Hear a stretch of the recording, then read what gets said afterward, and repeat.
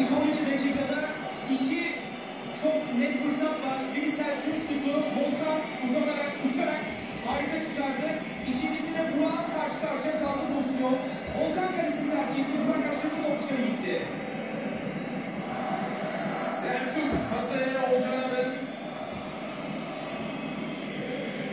Burak Yılmaz. Hakan Balta'dan Selçuk.